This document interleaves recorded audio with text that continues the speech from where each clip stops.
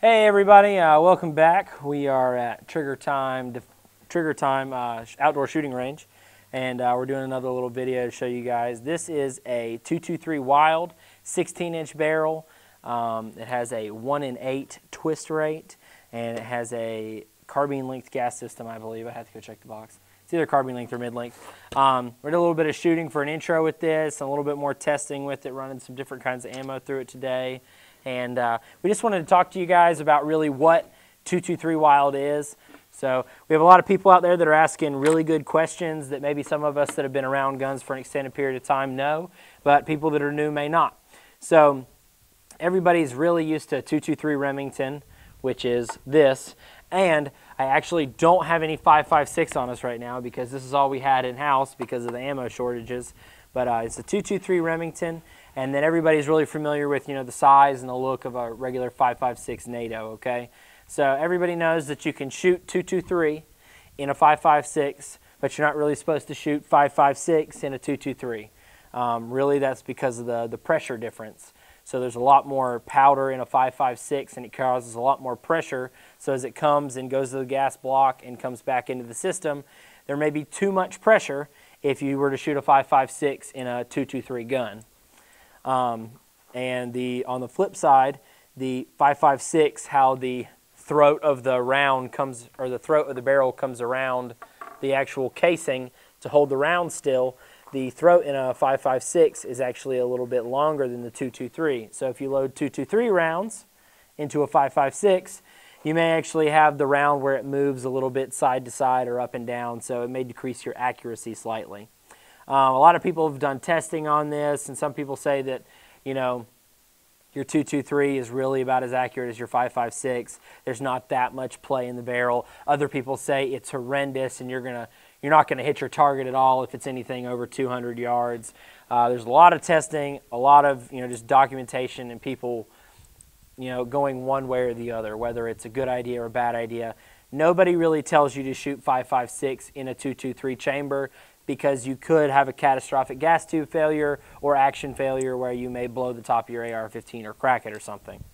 So we don't want to do that. We wouldn't advise you to do that. We advise you to always shoot the kind of ammo that's supposed to go in your gun. So if your gun's labeled 223, we want you to shoot 223 in it. If it's labeled 556, shoot 556 in it. So then somebody got really fed up with it and they were tired of explaining the difference in 223 and 556 over and over and over again. So this guy decided he was going to take it into his own hands and he was going to build the best of both worlds. Enter your 223 Wylde chamber. So you may say, I've never seen any ammo that says 223W or 223 Wylde. I always see 223 Remington or 223 REM. So 223 Wylde is not an actual cartridge, it's just a chamber. So we took the best of both worlds. We took the gas tube and the ability to handle immense pressure from the 5.56 into this build. And we also made the throat and the actual action of this weapon a little bit tighter for tolerance. So if you were to load a 223 Remington in there, you're not going to get any case wiggling or anything like that. So this is kind of a, we're, we're meshing these two calibers that are very close together, okay? So 223 being the civilian and the 556 NATO being the, the military style that all these countries use in the UN, okay? So the gas tube can handle the high pressures of your 556, but the action is still tight enough that your 223 is not going to move around any, and it's going to be solid, so you're going to get your best accuracy, and you're not going to have any action failure or anything like that. So you'll never see any 223 Wylde ammo because it doesn't exist. If anybody tells you to go find 223 Wylde ammo, they're playing a joke on you. Just laugh it off and move on. Uh, but this particular platform is the best of both worlds. So if you're not sure if you want the 223 because the ammo is a little bit cheaper, but you know you don't want to shoot 5.56 and potentially you know have a malfunction in your gun and break something, and you know you want to buy a 5.56, but the 223 ammo is just so much cheaper and it's so much easier to find. You don't have to worry about that anymore. You don't have to worry about putting the wrong ammo in the wrong gun anymore. You don't have to worry about if mine's chambered in 223 or 556, which it is. You can just buy whichever ammo you want. All you have to do is go to bearcreekarsenal.com and buy a 223 Wylde Upper. So we sell these in like 16, 18 inches, pretty much anything standard that we sell the 556 in. So I think we have a seven and a half inch and a ten and a half inch barrel set up.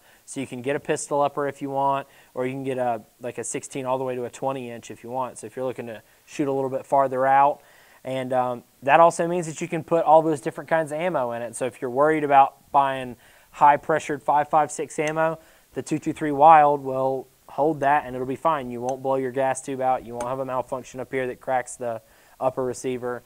None of that's going to happen. And if you want to shoot 223 ammo that maybe has a smaller diameter or it's a shorter bullet, you won't have to worry about sacrificing your accuracy either.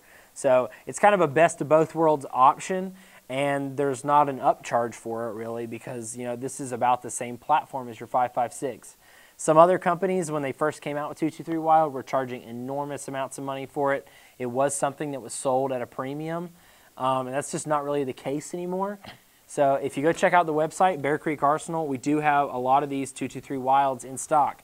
We do not sell 223 Remington. So if you see 223 on the website, it is not Remington, it is Wylde. It usually says W afterwards. 99% of the time of everything I've looked at, it always has a W or the word Wylde after.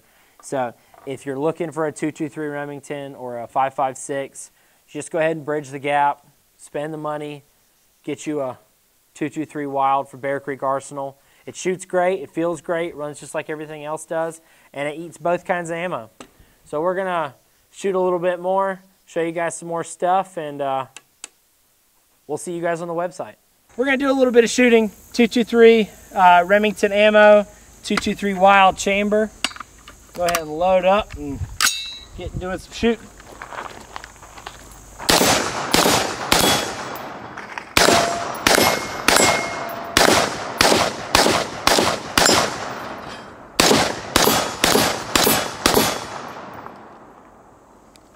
All right, everybody, so I hope you enjoyed shooting. I know our cameraman Tim definitely did whenever he gets a chance to now. So, uh, yeah, 223 Wylde, your best of both worlds. So, you can shoot your 223 and your 556 shells in here.